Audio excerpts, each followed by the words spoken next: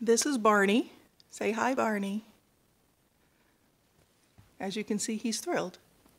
Barney is what we call our rescue cat, rescued from my in laws, because nobody really wants to live there with their dogs. This is Ella. Hi, Ella. Ugh, Yeah, that's about how the day's going, isn't it? And this is our little resident asshole, Ray, who is gray like Steve, but skinny. Every bit as snuggly and loud as Steve, but a dick to everyone but me and Jay and Frank, who died. So say hi, Ray. Of course you won't. Yep, that's the excitement.